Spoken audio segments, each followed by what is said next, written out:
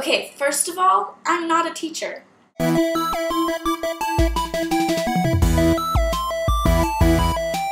Hi guys.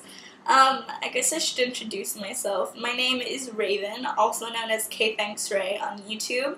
I have been on YouTube for about a year now.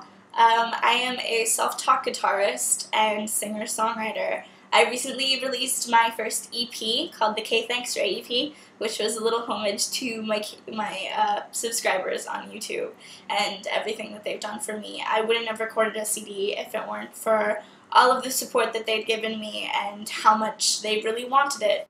I have to admit, when I was invited to join OurMixtape, I I said yes because I wanted to learn stuff too.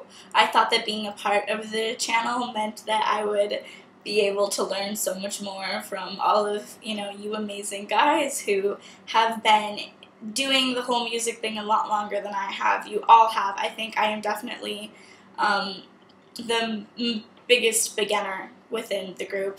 Um, you all seem to know so much more than I do, and I'm already learning so much from all of you. But here's to hoping that I still have something to offer. Today, I'm not going to be talking about microphones, and I'm not going to be talking about the acoustics in certain rooms. I'm going to be talking about the one thing that I actually do know about, which is teaching yourself how to play guitar. Okay, so you have your guitar. This is what my acoustic guitar looks like. This is the guitar that I began to teach myself on. This is an acoustic electric. So it's an acoustic guitar that can be plugged in so that it can um, amplify sound. So I definitely recommend an acoustic electric guitar because that way you don't have to put a microphone in front of your guitar when you play live.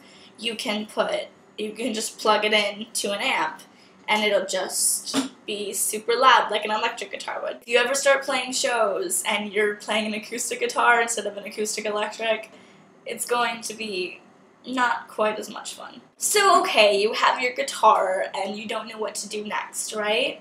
I will tell you how I learned to play the guitar. I learned by learning some of my favorite songs. There is a website out there called ultimateguitar.com and it is where I would say 99% of guitarists go to look up um, tabs and chords to some of their favorite songs. So you can pretty much go to the search on that website and look up, you know, your favorite band or whatever and learn, you know, whatever songs are available on there by that band on the guitar. And it's amazing. That's how I learned to play the guitar was by learning some of my favorite songs. For example, I learned how to play the B chord on the guitar by learning one of my favorite songs at the time, which was called Raise the Dead by Phantom Planet. So I looked it up on ultimateguitar.com and the tab was there, the chords were there.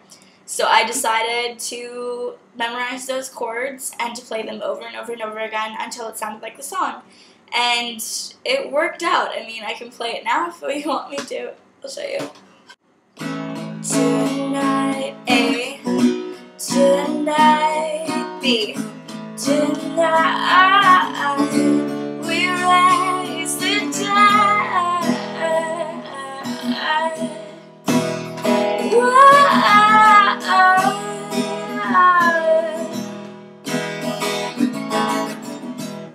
All you have to do is find a song that you really want to learn how to play look it up if the chords are there memorize them and you'll know the chords forever.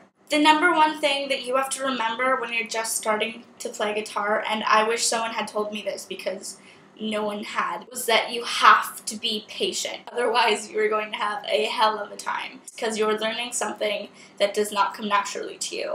I would say 99.99% of people have trouble with the patience part of guitar because you will sit there trying to play this the same chord over and over and over again and having it sound like you know like just completely wrong and you're like oh my god why does it sound like crap? You know?